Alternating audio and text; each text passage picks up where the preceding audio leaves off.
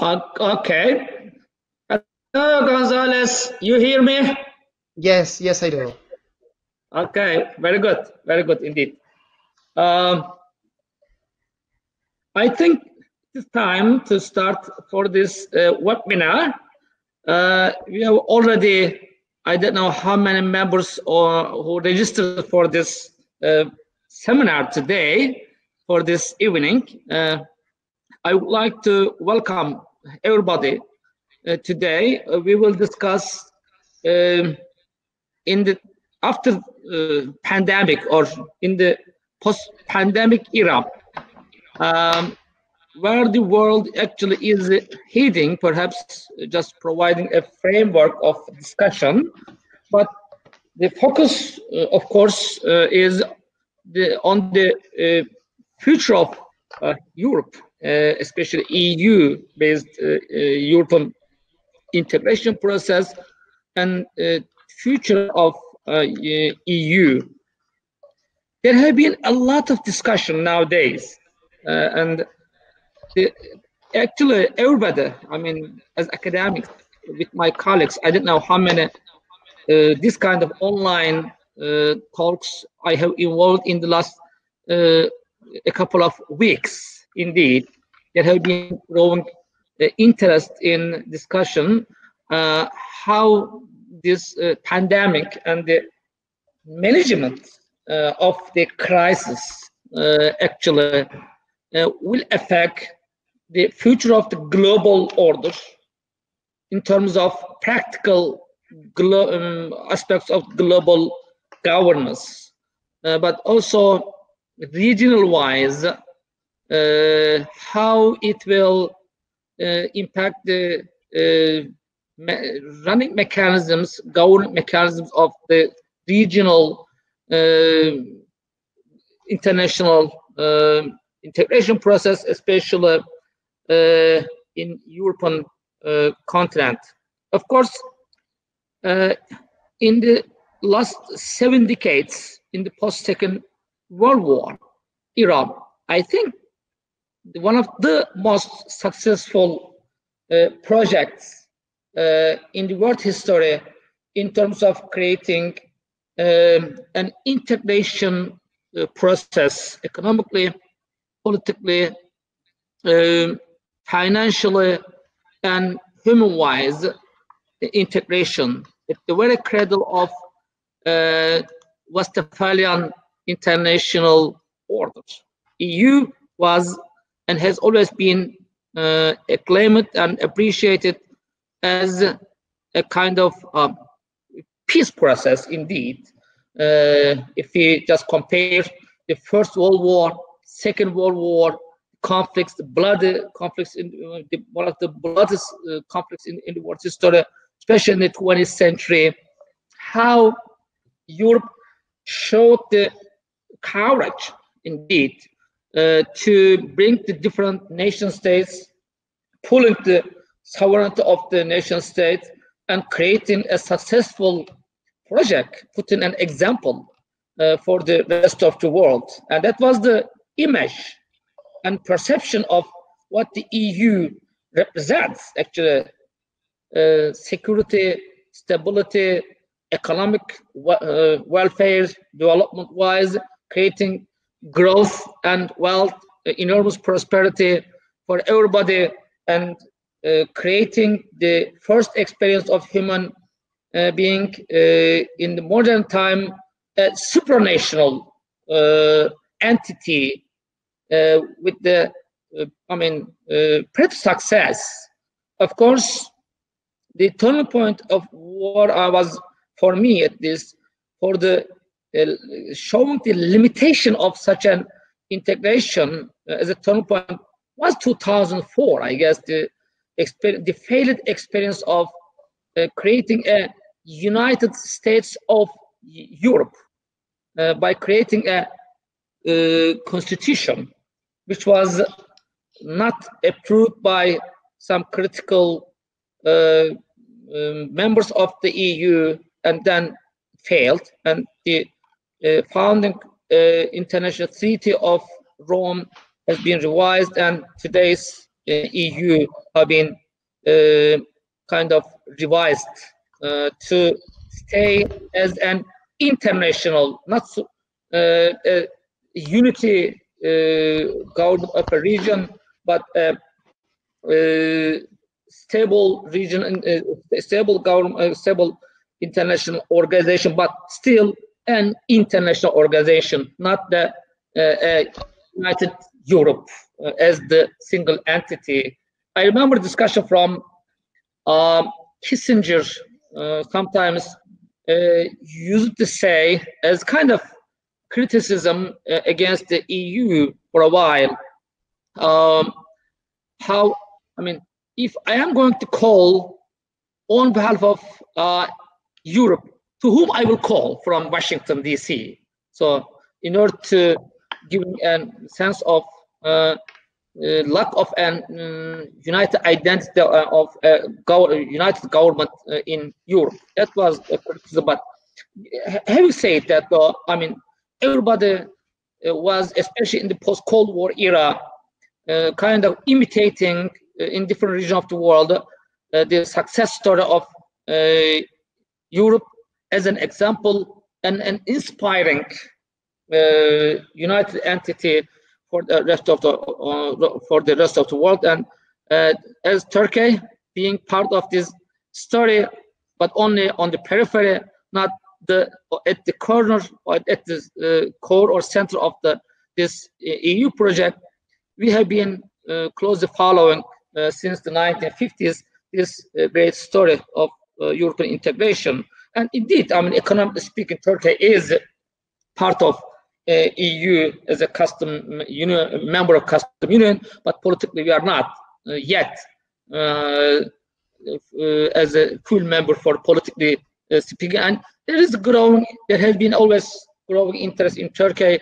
But what happened in the last decade or so, of course, a kind of uh, development actually um, demystify the image of what EU represents, the, especially in the uh, after the aftermath of 2008 and 2009, the financial crisis, the, uh, in terms of economic management, but also growing um, new fascist parties, anti uh, immigration movement, uh, xenophobia, Islamophobia, and most recently, uh, of course, against this refugee crisis, all brought a new discussion. And of course, I I will come to this point and I will give the floor to the, our presenters today, but I just wanted to set out the, uh, what we will discuss today.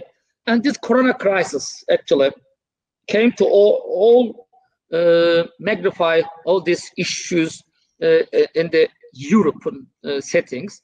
And today, um, actually, I would like very much interest in, I mean, to listen uh, my dear colleagues, uh, one from participating from, um, are you both of in Madrid now or uh Brazil? You are from London. Are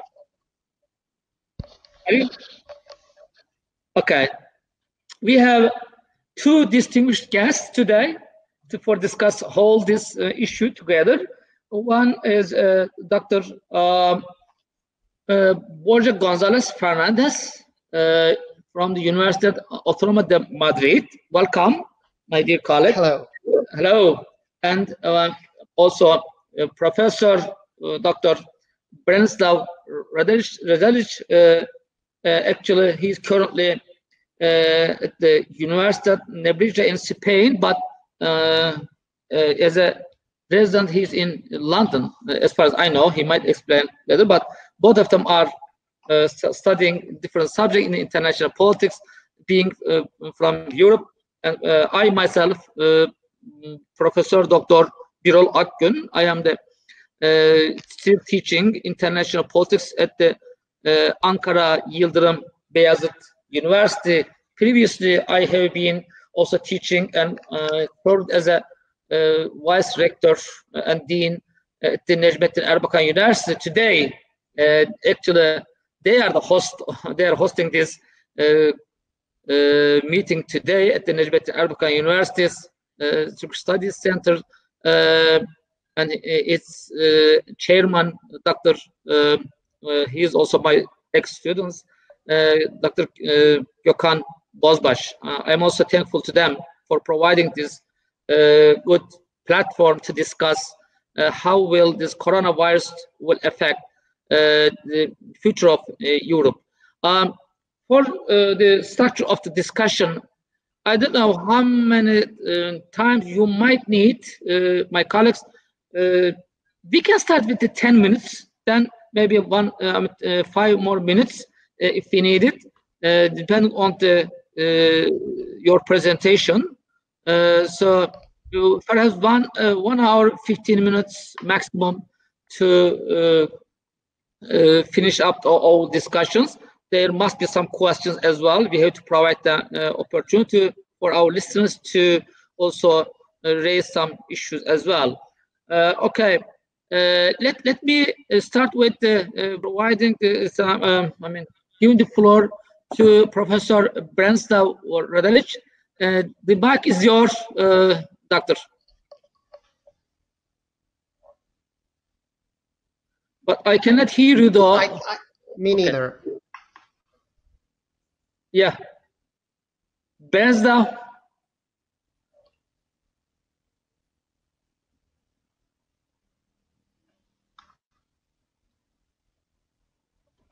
Unfortunately, no. No, me neither as well. uh, okay. Let's try.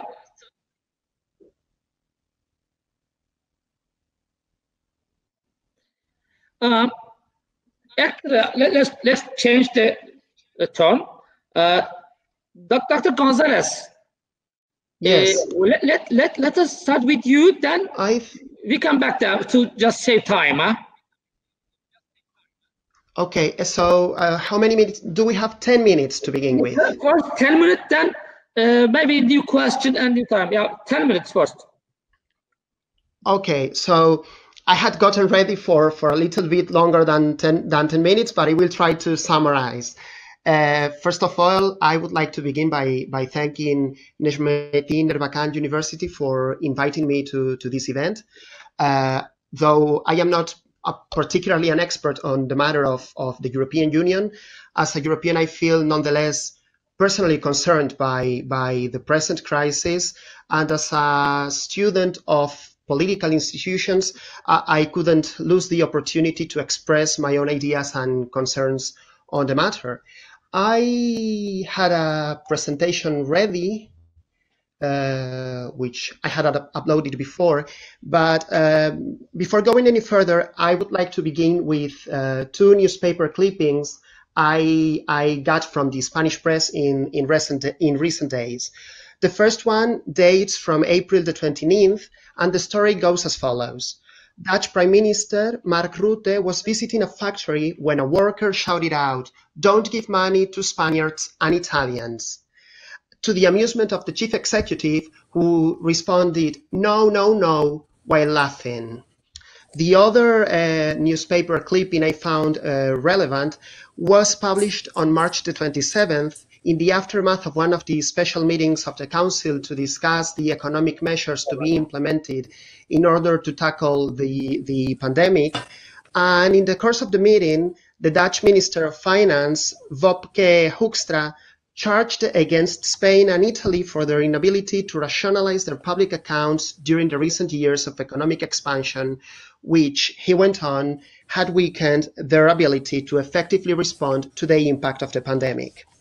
While uh, Hoekstra's statement elicited condemnation across Europe, with the Portuguese Prime Minister as a particularly vehement critic of his words, both newspaper clippings I have just referred to recall the explosion of national stereotypes that accompanied the severe financial and economic crisis experienced by the European Union uh, in recent years thus revealing both the weakness of the identity side of the European project and the increasing penetration of mildly xenophobic, Eurosceptic discourses among an elite that had traditionally been impervious to such points of view.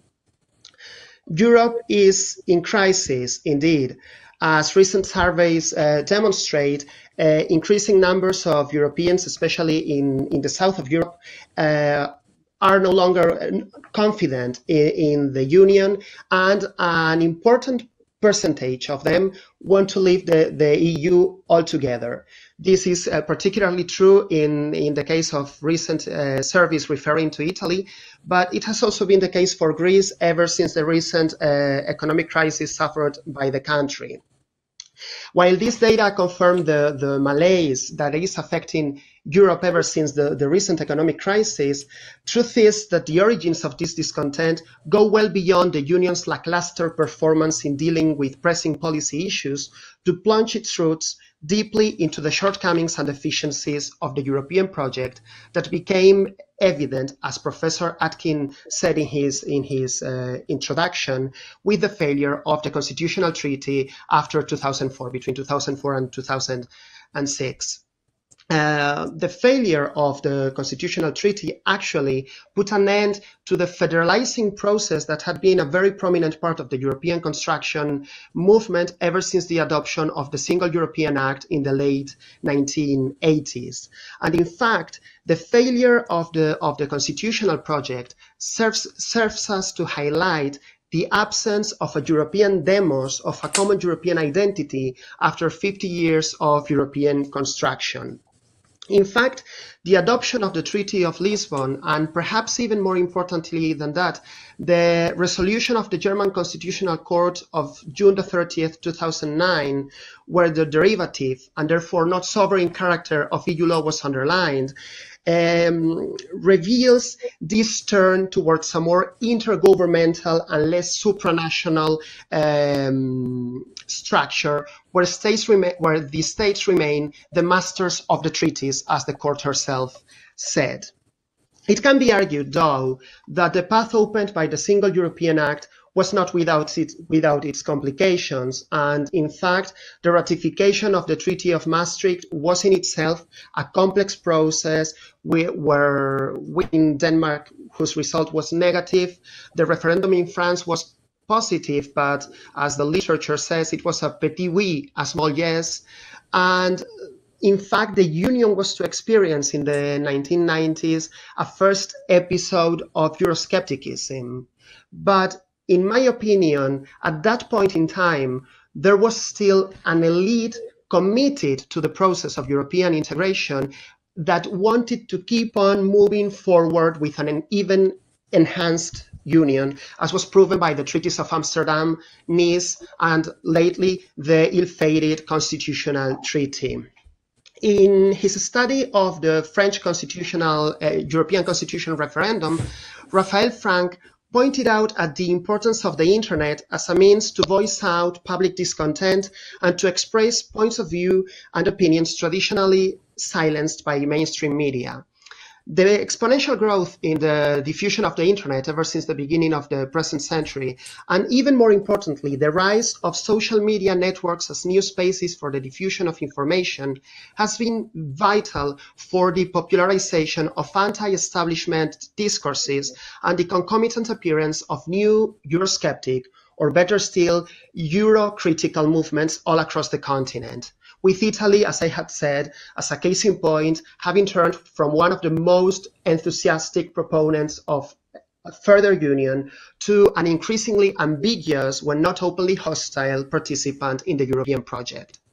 In, the context, in this context, the media hegemony of traditional press, press outlets has been substituted by an uncontrollable flow of information of dubious reliability constantly shared through countless overlapping networks. The dictatorship of Twitter transformed into the primary vehicle of political communication, even in countries with low or elite only Twitter penetration, and the growing weakness of the traditional political parties. Uh, we've seen a pattern of uh, the quasi bipartisan legislatures of Europe turning into increasingly fractured uh, parliaments them, uh, themselves a byproduct of, of the fractured media landscape, has stymied the ability of the political elite to accept compromise on long-term policy goals for fear of losing a couple of popularity points in the ever-present demoscopic study.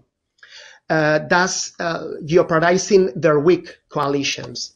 The rise of the masses, as was prophesied by the Spanish philosopher Ortega y Gasset in the 1920s, has become a most frightening reality a century afterwards. Uh, the changes in the political behavior brought about by the digital revolution have been furthermore coupled with the underdevelopment, as I said before, of a European demos. The sheer size of the Union and its linguistic diversity have proven to be almost unsurmountable barriers for the development of a European public sphere, which together with the resilience demonstrated by the nation state uh, has thoroughly hampered the development of a sense of peoplehood, as Richard Bellamy explains. Uh, which is a fundamental requirement for the implementation of re successful redistributive measures. In simpler words, we are more inclined to help others or to accept sacrifices for the sake of others if they belong to the same group as ourselves.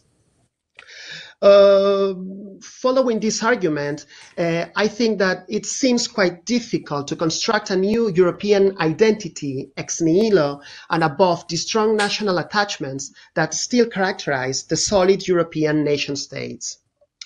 While it could be counter-argued that the existence of strong national identities does not prevent the, the simultaneous rise of a strong attachment to another non-national object of affection, as has been variously proven in the literature, and moreover, that younger Europeans display higher levels of attachment to the Union as a whole, it is nonetheless true that the political and media transformations we have just talked about have transformed the relation of the European citizenry towards the Union from a mildly acquiescent framework characterized by permissive consensus to an increasingly hostile perception dominated by constraining dissensus. Um, while I per personally believe that the permissive consensus model could retain its validity, at least in times of, uh, uh, of economic prosperity and political tranquility, it is true that its validity sinks as soon as things start to get sour. As the recent financial crisis demonstrated, the cumbersome intervention of the EU in, in, to tackle macroeconomic imbalances in Southern Europe, uh, with dramatic consequences for the social cohesion of, of those countries, provoked a pervading wave of Euroscepticism insofar as the austerity measures demanded by the Union were perceived as the unfair impositions of an intrusive and undemocratic organization encroaching into the realm of sovereign authority of the state. The consistently low levels of approval for the EU as a whole, both in Italy and Greece, even after the worst episode of the crisis had passed, served to reveal, moreover, how the traumatic experiences lived at the hands of the reviled Troika linger in the collective mind even after the onset of economic growth and the recovery of a modest prosperity.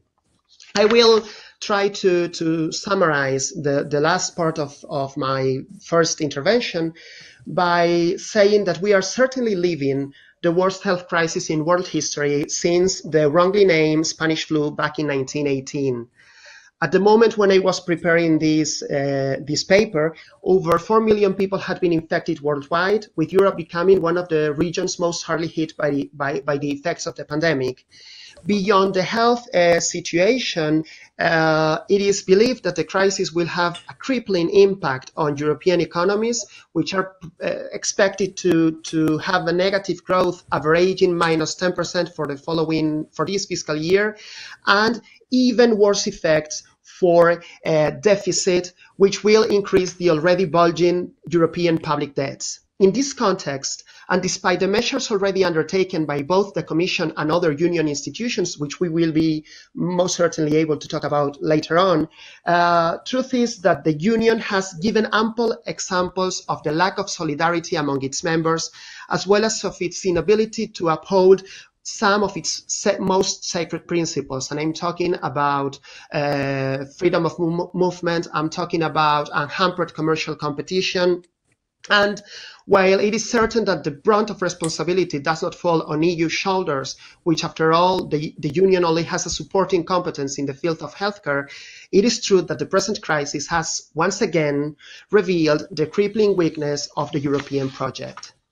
The fact that the crisis has had an special impact in the southern uh, European states, which had been the most hardly hit by the previous financial crisis, threatens, moreover, to bring back to the fore the, the fraught north-south divide, which had been already on the brink of breaking the Union back in the early 2010s. In this sense, the recent uh, ruling of the German Constitutional Court just a, a, week ago or something like that, uh, where it was said that the European Central Bank quantitative easing program was illegitimate insofar as it exceeded the, the ECB's mandate, not only contradicts a previous ruling of the European Court of Justice in sheer violation of principles of normative hierarchy, but also threatens to destabilize capital markets by putting in question the central bank's pledge to do whatever it takes, in words of Mario Draghi, in order to sustain the common currency and avoid a default risk. And the consequences of this uh, ruling are already perceived in both Italy and Spain with increased uh, ratios of sovereign debt risk um, levels. Moreover, the risk of a fresh epidemic outbreak, and we've seen uh, worrying signals both in Europe and in Asia, threatens to uh, put uh, an end to the de-escalation processes underway and uh, puts even further uh, pressure on the increasingly fragile European economies. It is, however, difficult to predict the future of European integration when we are still very much at the beginning of, of the crisis. But I believe that the Union has, as we say in Spanish, a mala salud de hierro, which means an ironclad bad health. Uh, and it refers to usually to people who, despite being sick, uh, survive many years and even outlive most of their contemporaries. Uh, during the previous crisis, we heard many, prophecies, many prophecies about the impending demise of the European Union, the downfall of the euro, but then came, uh, then came Super Mario and opened the, the gates of money, and the union managed to resist. I believe that the union will be able to, to do so now, but I also believe that it needs urgently an exciting process to engage the wider European population as a whole with the European project. If it does not manage to do so, it will eventually become a jail of nations shackled by the enslaving handcuffs of an unpayable debt. And that's for now my, my uh, first presentation, so to speak. Okay, thank you, uh, Dr. Gonzalez. Uh, almost 15 minutes just to keep the fairness as a moderator. Um, Sorry. no problem, no problem. As long as uh, you're done enough, I didn't want to intervene anything.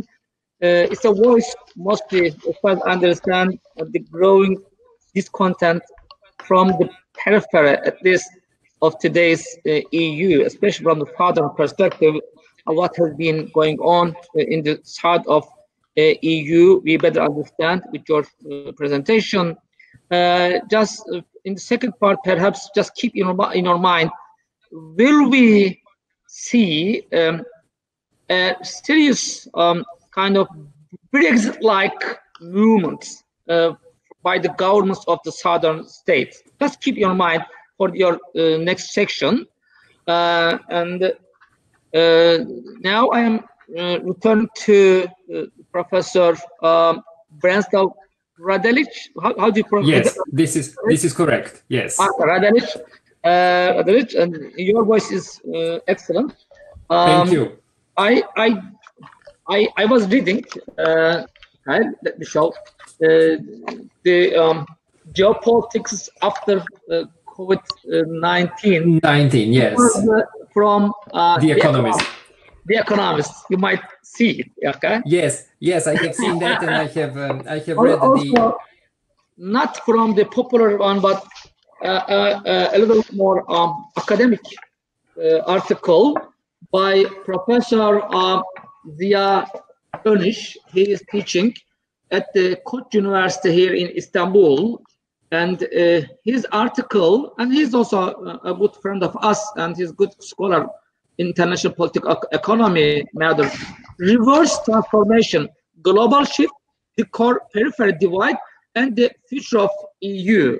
Well, yeah. Uh, it just came out very recently.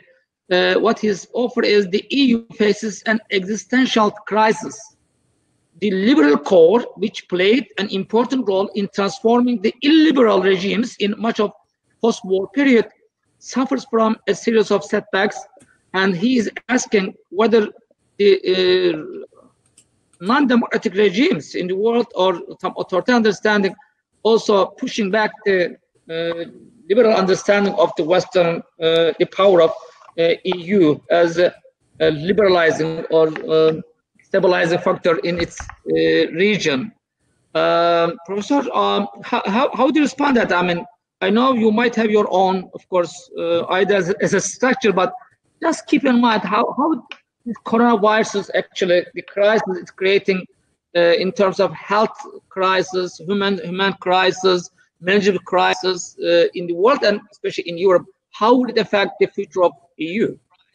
Well, uh, you have. Uh, thank you very much for for having me. You have uh, touched upon in your introductory remarks. Um, upon some very important aspects with regard to the European integrationist project. And then um, my colleague uh, Borja has also touched upon some extremely important issues, uh, which I would like to unpack a bit more uh, with regard to the extremely important notion of European identity, because all the challenges that we have seen so far, um, and uh, here I refer primarily to the economic crisis, but then refugee crisis, but now COVID-19 um, have been powerful enough to challenge the notion of um, European unity. So mm. um, the notion of, of European identity really started as an official um, idea with the introduction of the um, Declaration on European Identity, which was promoted in 1973 uh, with the outbreak of the oil crisis. So it was an economic crisis back in the 70s that somehow inspired the drafting of um, an official declaration on European identity. And then later on, actually, when some other aspects became Europe's reality, such as, for example, the presence of Islam in the West uh-huh. uh, in the 80s, with the establishment of many um, Islamic organizations, in particular in France and Germany, then the notion of European identity that we currently very often refer to was established and then promoted. Later on, with the Treaty of Maastricht and uh, certain changes, right, in the post Cold War context,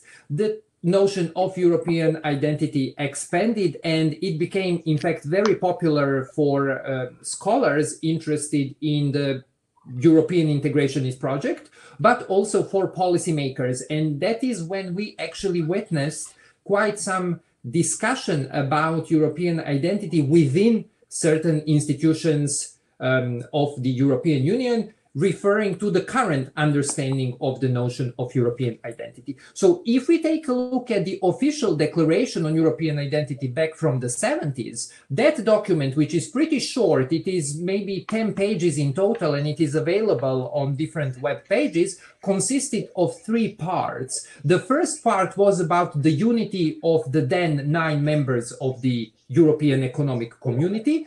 The second part was about the European identity in relation to the world. So, how can the then European Economic Community position itself vis a vis the rest of, um, well, European states as well, but or also um, other, um, the rest of the world.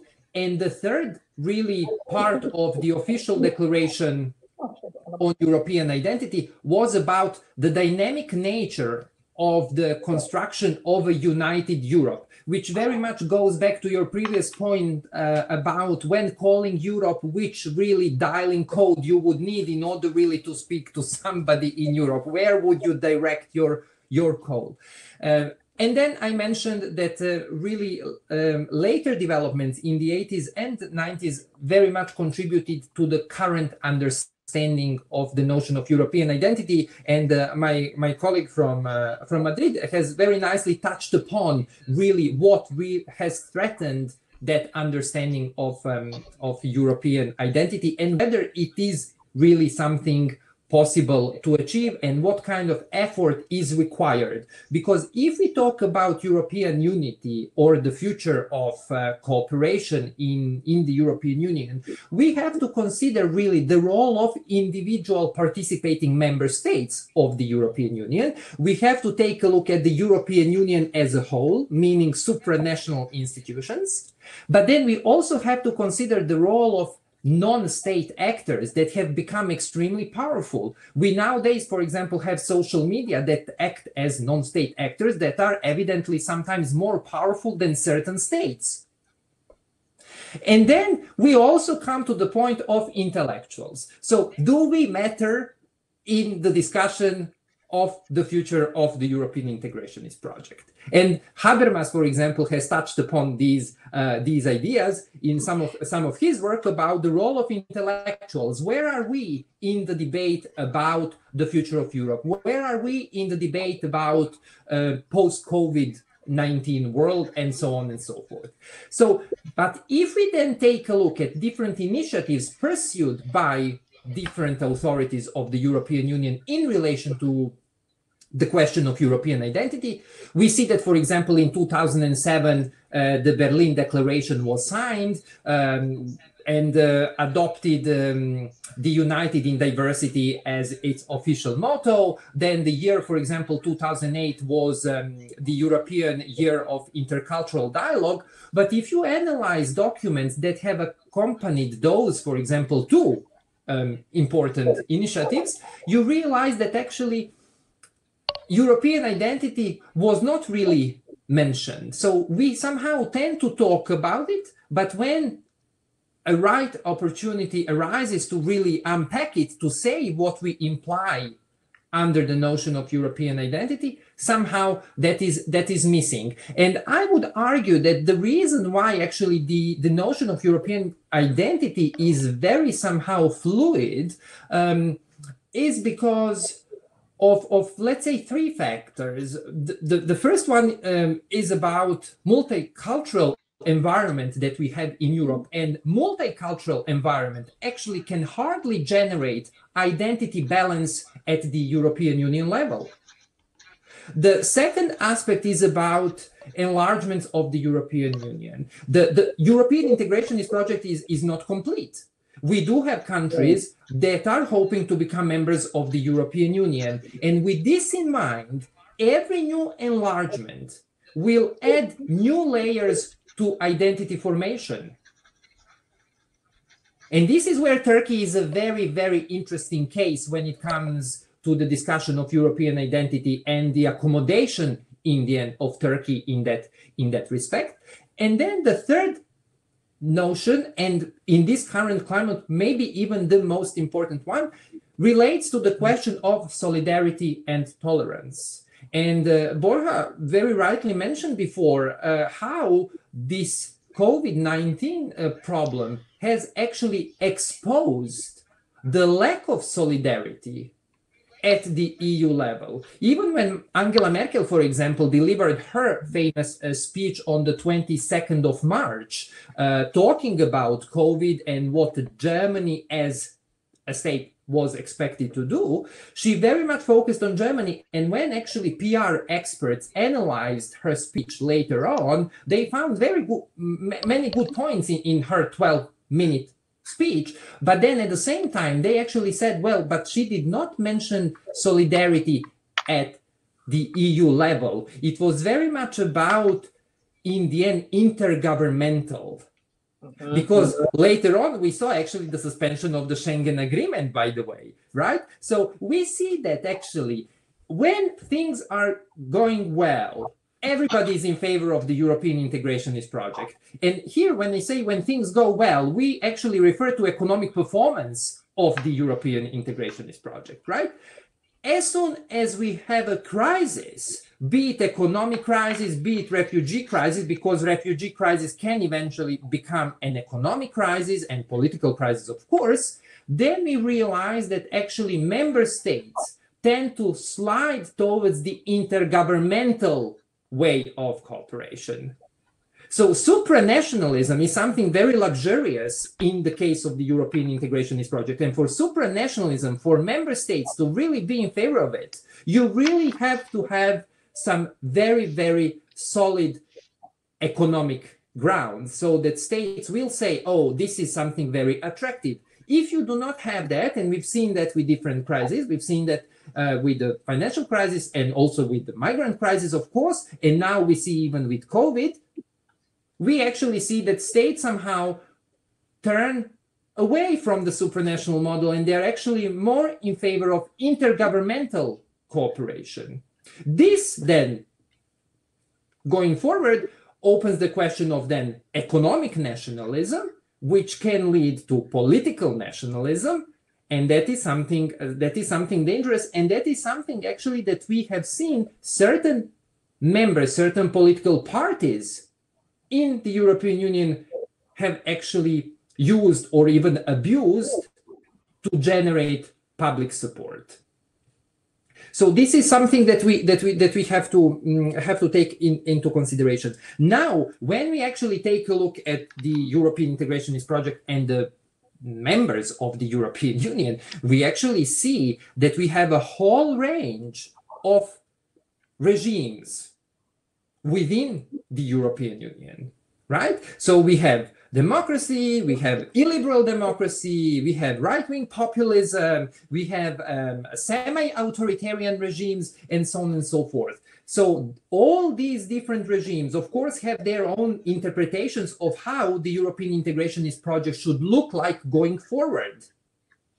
And therefore, talking about greater uh, collaboration, talking about solidarity, talking about even the notion of European identity, all these aspects, no matter how attractive they, they are, they are actually complicated by different regimes and the oscillations that exist within certain countries participating in the European integrationist project. So going forward, even the question of enlargement will be about inclusion of, of new states, right? but at the same time, it can potentially lead to greater exclusion within the European Union because we are obsessed with the notion of uh, core and periphery or core and semi periphery. So, if we think future states that will become members of the European Union, we can then question will they ever become core? With this in mind, for example, and we have done a lot of work on the Western Balkans and um, relations between the Western Balkans and the European Union and the role of the European Union in the region, I tend to be very skeptical um, as to how much those states, even when they join eventually the European Union, can really progress within the European Union. So um, I am.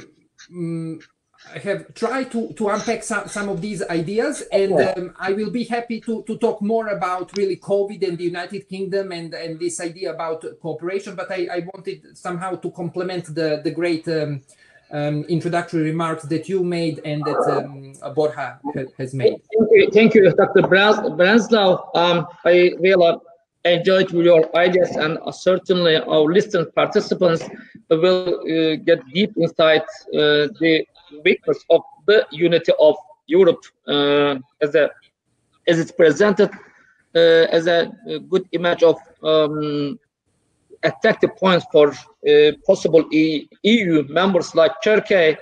certainly, it will be more. I mean, it is more illuminating that uh, actually there is no well-defined based on the shared values uh, what we call uh, what we can call Europe or EU indeed I mean as a formal international or organization. So indeed I mean for this matter despite the fact that um, EU has been well defined as a project of peace or by creating um, Karl Deutsch, I think he used to say a security community. Yes.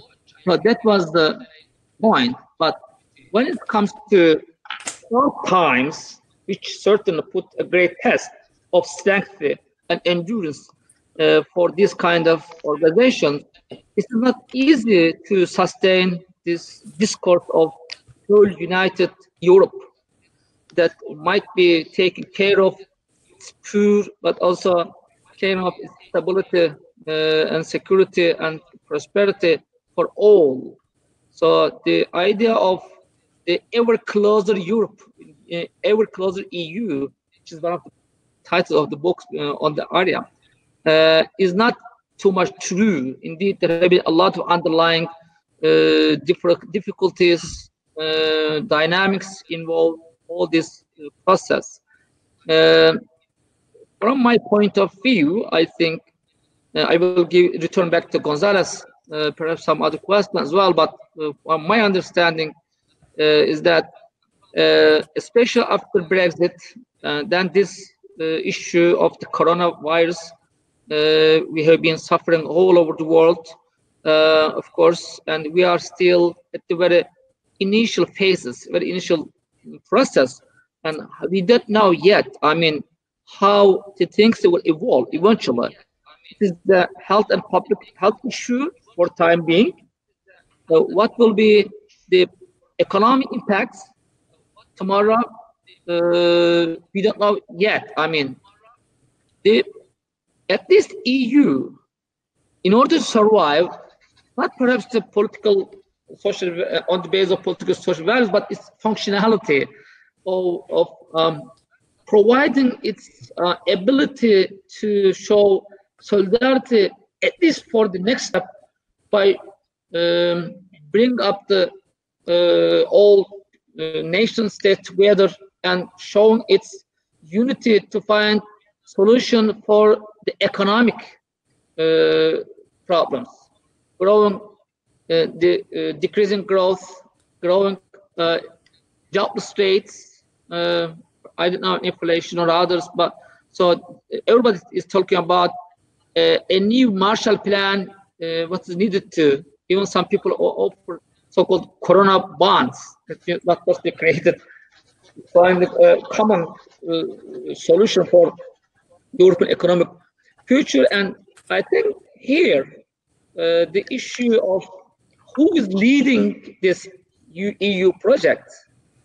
Okay, I mean, EU as an economic uh, area of interest uh, and union uh, integration in terms of economic matters so far successful, but without um, taking the burden of the defense issues and in, in the pace of the break between the uh, the new world, which is uh, American, the uh, Trump's America versus EU, and the growing China, which is approaching to fastly to European Union market. So how will all these dynamics will evolve? We will see. But uh, Europe must take its future for its hands. And that for this reason, I mean, especially the core powers like Germany and France, I mean, must decide what kind of Europe, European Union, they will actually think of in their, their mind. Will they, are they ready to uh, take all the burden of, undertake all the burden of uh, sustaining EU economically, especially. Uh, they, at least in the case of uh, 2009 crisis, in the case of Greece and some other crises, okay, uh, Chancellor Merkel somehow showed uh, at this its um, so, uh, German solidarity and willingness somehow find, finding a way to deal with the Greece uh, problems. But this time, after 10 years, which certainly will be uh, harder. And as Gonzalez just mentioned, uh, German constitutional court decision with regard to EU central banks involved in the economic issue is really uh, is uh, a good uh, sign for the reading of um, it is uh, German's political elites and and constitutional court is not the regular political elite. I mean, it's a real, I mean, hardcore of uh, German, indeed. I mean, how it's a good time for reading and understanding the the centers of the EU, uh, can or what we call North. So what will be? I mean, what what is the expectation of uh, Southern Europe, Gonzalez? Uh, what they expect from Germany, France, access in order to find a solution. If it's not available, uh, and what is, will be the uh, reaction or response of help?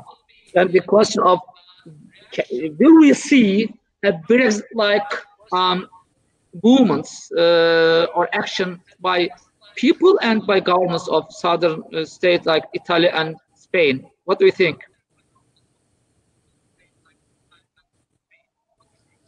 Well, um, I have been writing uh, across both your interventions because you've made uh, very, very extremely interesting points, and um, building on some of the of the things you've both said. Um, I believe that uh, the economy remains at the core of the success of, of Europe. As Sebastian Royo wrote um, already um, many years ago, uh, the, the, the reason for Spain and Portugal to be so pro-European was based on the perceived benefic- um, beneficial effects they had received from the Union after their integration. Now the present crisis um, is putting further pressure on already strained uh, economies, on already strained uh, public budgets. And um, just today, I had the chance of, of reading in the newspapers that uh, ministers from Spain, Portugal, France, and Italy had actually put forward a program for up to a trillion and a half euros to uh, start addressing some of the effects of coronavirus. They, they, they want to defend this plan together against what they perceive will be the, the opposition of uh, the austerity prone states of Northern Europe, essentially Denmark, Germany, and the Netherlands. Uh, I don't see very, I'm not very optimistic. Uh, Ursula von der Leyen was expected to have presented her report on, on measures to tackle coronavirus on May the 6th. She, now they are talking that she will mm, submit it by June the 6th uh, at the earliest uh, point. And um, building on the on the newspaper clippings that I read in my first intervention, I don't see the um, environment uh, prone to further solidarity in, in Europe. And this brings me to, to one question that, that Branislav asked in his intervention about whether the peripheric European states will ever become central in the project of European construction. And we've seen how uh, Spain and Portugal and other Southern European states, even after three decades or four decades in the Union, remain largely peripheral to the central uh, decision-making uh, process, which is largely perceived, at least uh, from a Southern European uh, perspective, as a Franco-German um, issue.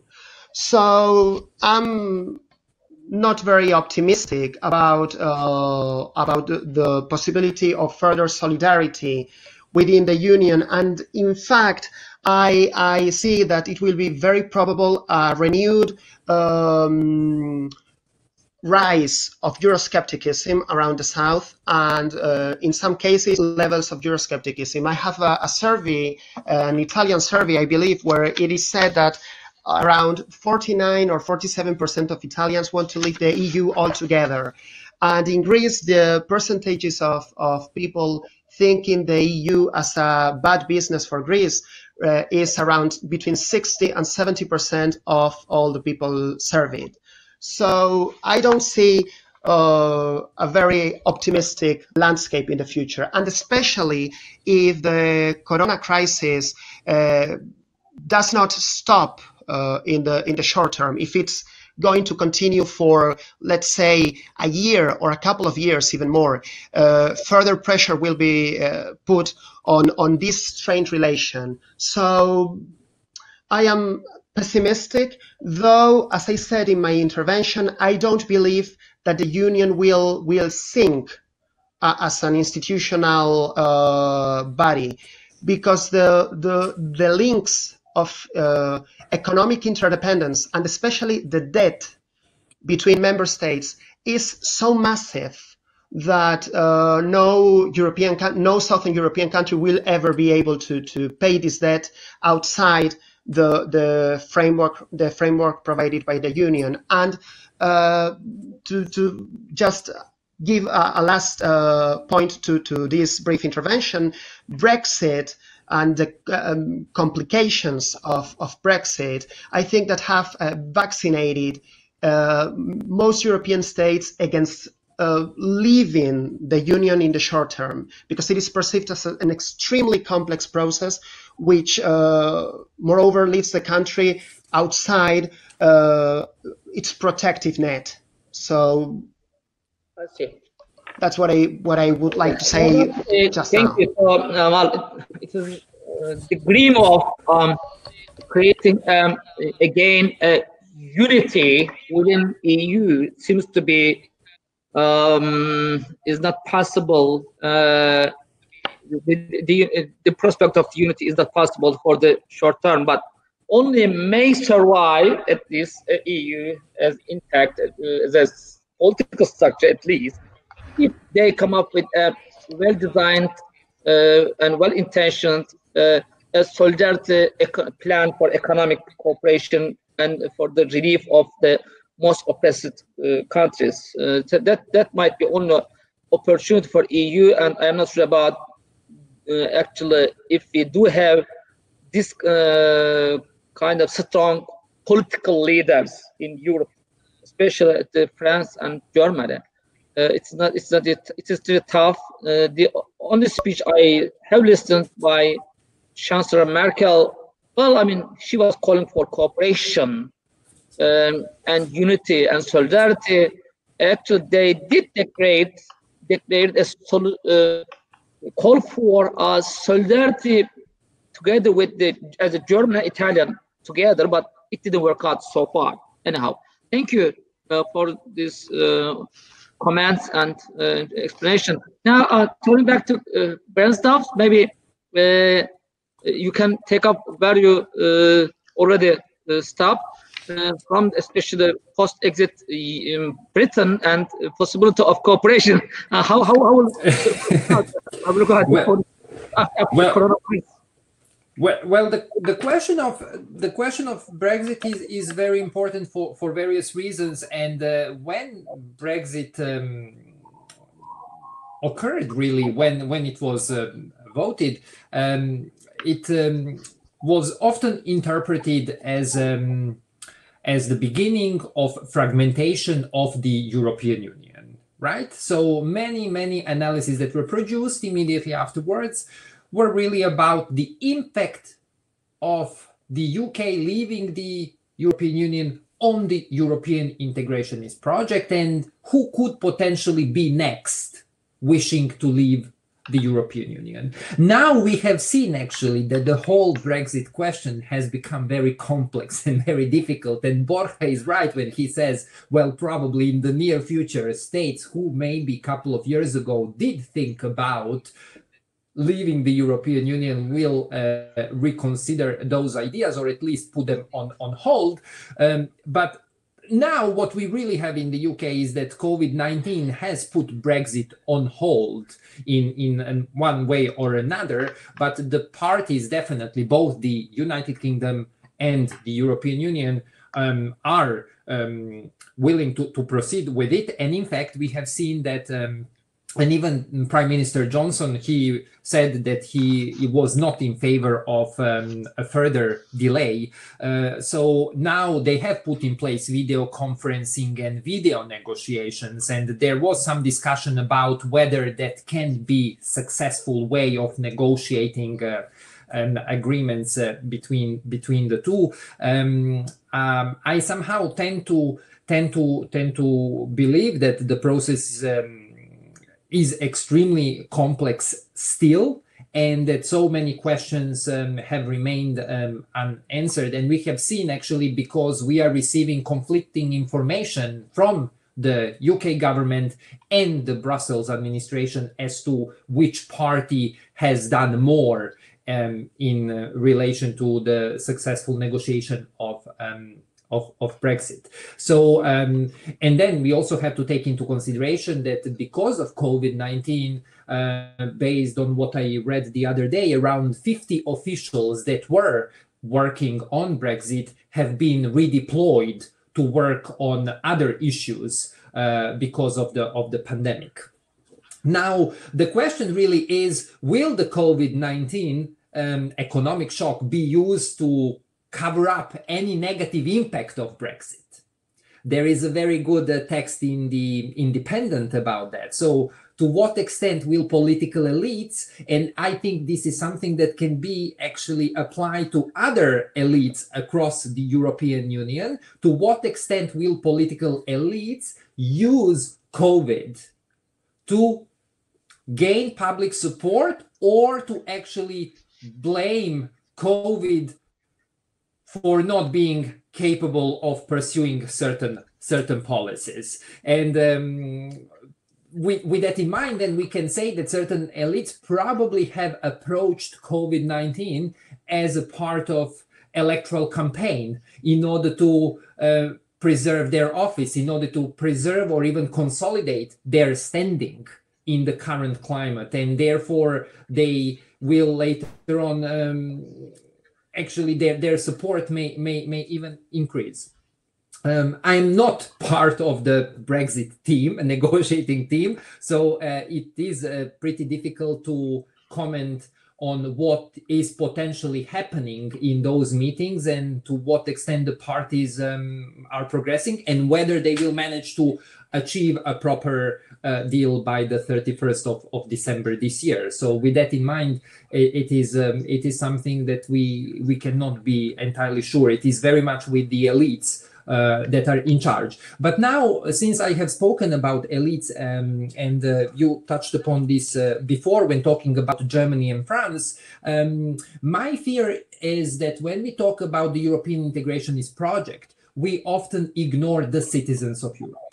We uh, often talk about the Brussels administration. We often talk about what's happening within different institutions in Brussels or in Strasbourg or Luxembourg, but we often, I believe, tend to ignore the role of citizens, the role of us in the European integrationist project, and really whether a person who lives in a remote village, let's say in Poland, knows anything about European Parliament elections I don't think so.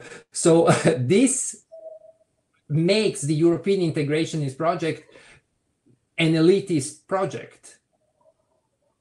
And this is also something that has been discussed in the literature um, quite often. And in relation to this crisis, then we say, oh, well, COVID represents a very good opportunity for lessons learned. Well, every single crisis has represented an opportunity for lessons to be learned. But the point is, will elites learn the lesson?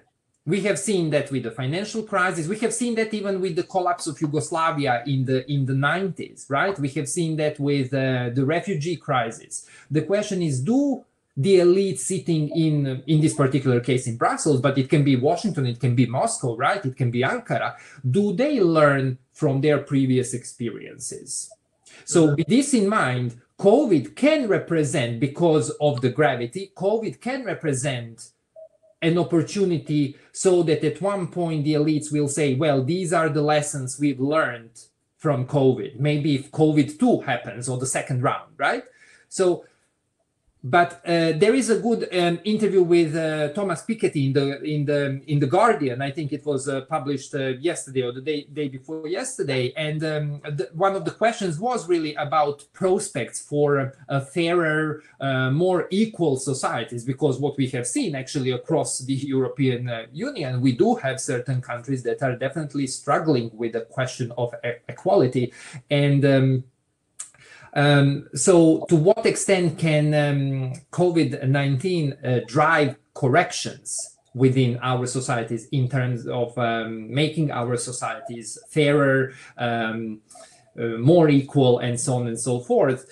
And um, uh, Piketty says, well, uh, the problem is that if you have um, free trade and a single currency without social objectives, which is very important, you end up in a situation that you have free mobility of capital, you have all the benefits and so on and so forth. But actually, the ones who will be benefiting from those will be wealthy citizens, will be citizens who are extremely well educated, who can travel, who can enjoy the benefits of the European integrationist project, and that is free movement, free this, free that, right? Whereas actually, middle and lower classes will remain stuck. And Thank you. Is... Thank you. Thank you, uh, Um, there is a couple of questions from our participants. Let me just uh, read them uh, for uh, your answer. Already, you have answered some of them.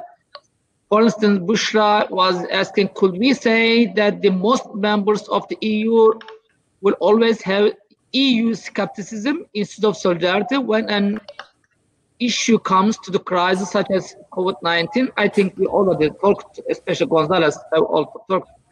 Um, what will be the effect of uh, COVID-19 cooperation between Turkey and uh, from important countries like uh, Britain, Italy, Spain. Uh, we have been cooperating with them uh, actually. Um, I don't know, will it create any hope for uh, possibility of, I don't know, renewed membership process with Turkey? will it change anything? Maybe I, I should ask this question, Gonzalez. Um, how, how Turkey is read from the perspective within this context, especially how the EU press is reading Turkey, uh, especially the COVID-19, not just generally speaking before. Gonzalez? Well, um, I, I, honestly, I'm I am not very much uh, an expert on, the matter of, of Turkey-EU relations, but uh, in my opinion, the, the issue of, of Turkish membership in, in the European Union uh, goes well beyond uh, the present the present crisis and affects some aspects of identity that we've commented uh, throughout this uh, this seminar. Uh, I don't see uh, really a betterment of, of, of, those prospects in the short term, at least when one takes a look at uh, public opinion surveys uh, and so on. However, uh, we've also seen how solidarity with uh, certain EU states has not come from other EU states, but from states from outside the European Union. And actually, uh, in the Spanish case, there was this, this issue about some breathing mach machines that got stuck in, in Turkey, and there was a, a diplomatic deal between between Spain and Turkey, and the machines got finally uh, uh, sent back to to to Spain because Turkey realized that, that Spain was in a in a harder situation than Turkey at that point. Uh, uh we've seen similar cases, for instance, with the uh, Chinese and Russian Russian doctors coming to to Italy when no uh, uh, European Union uh, medical uh, team has traveled from Germany or for or from the Netherlands, just to, to give two examples, to to the Southern European states. So perhaps. Uh, more than increasing uh, Turkey's short-term prospects to, to enter the Turkey may have from certain Southern European states, which have seen how solidarity is an extra European rather than an intra European affair. Uh, okay, thank you. Uh, uh, um, uh, I know, I mean, you're from Britain, not from the inside of Europe, but you are still officially part of that uh, process. Uh, one question is, how should member states uh, share the fiscal burden of this crisis within EU? Will, will be possible or everybody will uh, take care of its, national issue as a separate entity, not the EU-wise? I um, I really think at this uh, stage it is very difficult to respond really how this can be uh, dealt with because we have seen how states um, certain states have been uh, reluctant when um, the question of money um, arose with, with COVID COVID 19 uh-huh. So um, to really say who will take which part in, in, in it, uh, it, it is very difficult. As I said before, whenever we have economic crisis, and definitely COVID-19 is linked to an economic crisis post-COVID, it will be very difficult and we are most likely then talking more about intergovernmental way of fixing fixing issues. So it will be pretty much um, um, down to that. Now, we also have seen that before with the financial crisis in 2008, uh, how divided the European Union was and how um, this might sound a bit um, like a stereotype, but how everybody believed that there is a super hard working north and a very lazy south wow. in Europe. And uh, when it comes to the very lazy south, it was very much about uh, Greece, uh, but then Italy, Spain, Portugal, and vis a vis the super hard working. Um, um, some other parts of Europe, in Germany, for example, right? So uh, this, in such situations, um, mm, is not very helpful. We we saw that during the the the crisis. So in this case, particular one, uh, we will see really to what extent the states will be willing to cooperate and discuss really financial issues and implications, of course, because some states will be affected more, some states will be affected less. And in fact, uh, now even the European Commission is taking steps. We we saw today that actually they are saying that uh, Mediterranean states should be um, opening uh, slowly because they know what role in terms of uh, economic performance of those states uh, tourism plays and therefore um, the the latest that we've heard from the European Commission is that actually a lot of emphasis should be placed how to start opening so that they will not have a completely lost uh, summer uh, season in terms of uh, tourism knowing what um, amounts come from that activity. Uh, okay, thank you uh, very much for uh, this comment. Uh, if you have anything uh, to add uh, for the last remark, perhaps, then in two minutes we will close this, webinar, this seminar tonight. anything from you, Gonzalez, to say? well, um, I've been uh, very happy to participate in this seminar, and I would like to say that uh, the the um, response to the crisis, uh, I don't see very much of a role for the European Union as an institutional uh, body, uh, but an emphasis on a renewed emphasis on intergovernmentality. Uh, the the thing about the touristic corridors that Branislav just just mentioned was received in Spain by uh, the, the idea of the government to put all passengers coming from abroad in a 15 day long quarantine, which to some extent seems to reflect this lack of coordination between the European institutions and the national institutions. It seems that nobody is uh, working as a team, but each country is trying to devise its own strategies. On the economic side of the issue, uh, the proposal for corona bonds for further solidarity, uh, I, see, I, am also very pessimistic insofar as uh, the Northern European states are adamant at providing more financial support for the Southern European states, whereas the Southern European states are in a really desperate situation right now. So Thank you. that's Thank my, you my final uh, intervention. For this tonight. Uh, anything last word from uh, uh, yes. Um, personally, I, I'm I'm waiting to to see how um, governments will behave after COVID 19. Um, the question of um, transparency and accountability uh, for the um, outbreak of the crisis has been extremely important. And uh, we have seen uh, many many differences characterizing the behavior of different governments in the european union. Since we are talking about europe but we could apply this definitely to to the global uh, picture of of of um, the current uh, situation. So um, it will be very, very interesting to see because what we are having now, for example, in the UK, on the UK uh, Parliament website, there is a petition to hold a public inquiry into the handling of the COVID 19 crisis.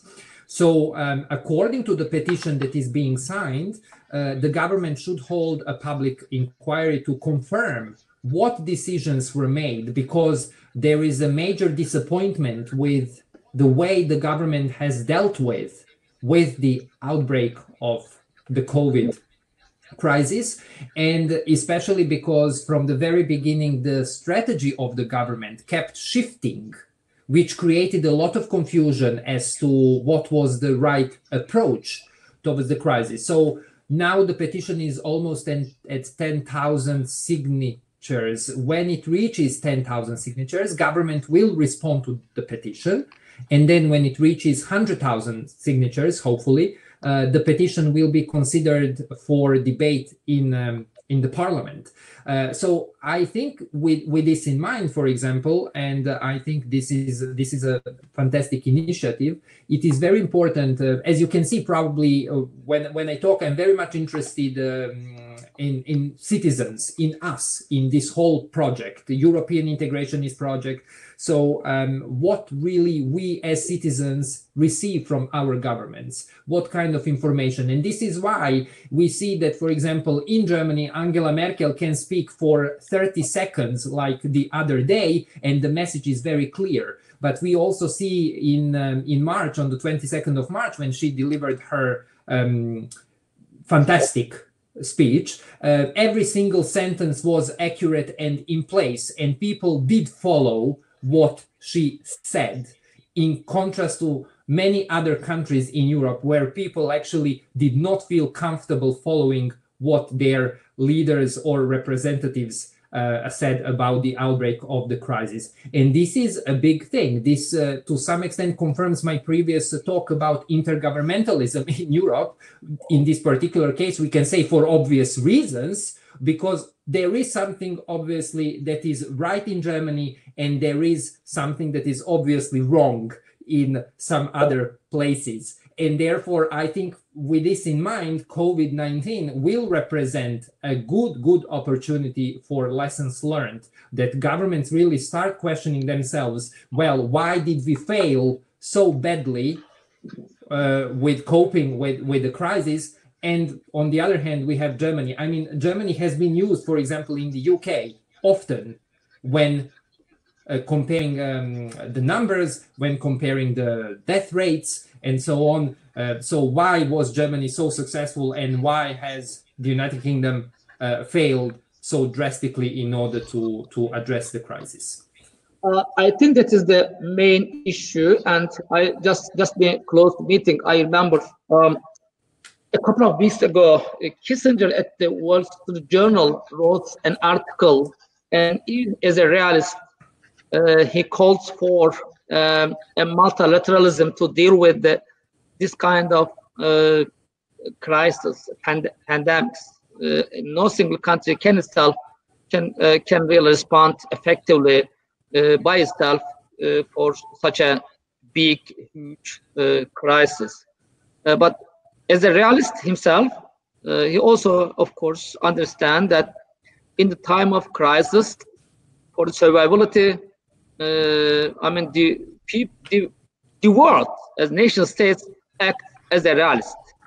Uh, as we know what realist means, self-help and self-reliance. And yeah. this pandemic actually showed us the realism still well and alive, even in the context in the um, context and of the EU, which is the most liberal project. Uh, yeah, yeah, it's, it's a safer bet. Yes. Yes. Uh, thank you, thank you, thank you, gents and gentlemen, for this uh, great event today, and hope to see you again. Especially if you come to Turkey, uh, hopefully after po- post-pandemic era in Istanbul. I, I'd be glad to host you for a, a lunch or dinner at the Bosphorus here uh, in Istanbul. Uh, Thank you. Teşekkür ederim. all right. Please welcome every, every time and greetings from Istanbul to uh, all Thank you. It was a pleasure. friends, uh, friends and uh, uh, please uh, keep safe and healthy. You And the give our same. Our uh, greetings to your families and friends Thank uh, in you. Europe. Thank you. Thank you. Thank you to you as well. Thank you. Bye. Thank you. Bye bye. Bye bye. Thank you. Bye-bye.